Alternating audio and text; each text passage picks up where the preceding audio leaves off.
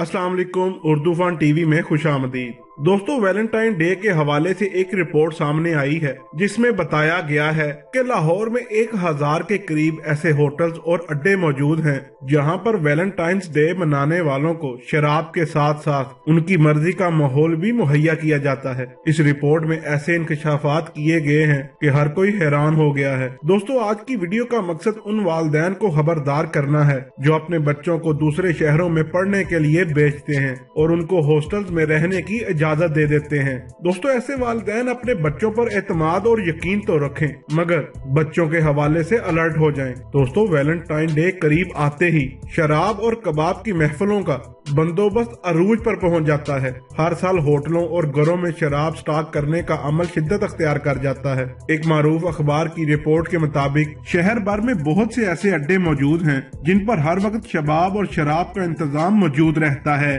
और फिर Valentine day या फिर न्यू ईयर नाइट पर इन होटल्स की बुकिंग अरूज पर पहुँच जाती है और मुतलका थानों की पुलिस को इलम में लाए और ना लाए बगैर, ये लोग अपना मकरू धंधा जारी रखते हैं। और पुलिस भी एक आधी कार्रवाई करके सब अच्छा है की रिपोर्ट देकर खामोश हो जाती है। इन होटल्स पर काम करने वाली माफिया। इस कदर मकरू है कि शरीफ घरों की लड़कियों को मोहब्बत के जाल में फंसा कर उनकी वीडियोस बनाकर ब्लैकमेल किया जाता है। और इस माफिया ने अपने कारोबारी तरीके को इस कदर जदीद कर लिया है कि ये सोशल मीडिया पर और फाहश वेबसाइट की मदद से जिसम फरोश लड़कियों की बुकिंग दरादर कर रहे होते हैं। दोस्तों, रिपोर्ट के मुताबिक, लाहौर में गर्ल्स हॉस्टल में मुकीम लड़कियाँ जाल में फंसाने के लिए खूबसूरत लड़कों को महँगी गाड़ियाँ, अच्छे कपड़े और महँगे मोबाइल फ़ोन देकर शिकार पर भेजा जाता है, जो किसी न किसी तालीमी अदारे की लड़की को अपने जाल में फंसा कर खुफिया कैमरों की मदद से उसकी वीडियोस बना लेते हैं और उसके बाद उसको ब्लैकमेल किया जाता है। जब जिसम के तलबगार ज़्यादा होते हैं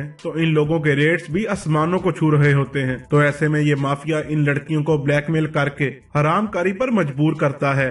दोस्तों, यहाँ पे एक सवाल पैदा होता है कि यहाँ पर इस सारी सूरत हाल में जिम्मेदार कौन है? हमारी पुलिस जो चंद टकों के लिए इस मकरू धंधे को रोकने में नाकाम है, या फिर वो वालदेन जो अपने बच्चों को दुनिया के मासूम तरीन बच्चे समझते हैं और उनसे ये पूछना भी गवारा नहीं करते कि वो कहाँ से आ रहे हैं या कहाँ को जा रहे हैं। या फिर वो लड़कियाँ और लड़के जो अपनी माशरती हदों को अबूर करके दुनियावी लज्जतों के पीछे भागते हैं और इन ब्लैक मेलर्स के हथे चढ़ जाते हैं। इस हवाले से आप सब अपनी कीमती राय कमेंट्स बॉक्स में ज़रूर दीजिएगा। मिलते हैं किसी अगली वीडियो में। तब तक के लिए अल्लाह हाफिज।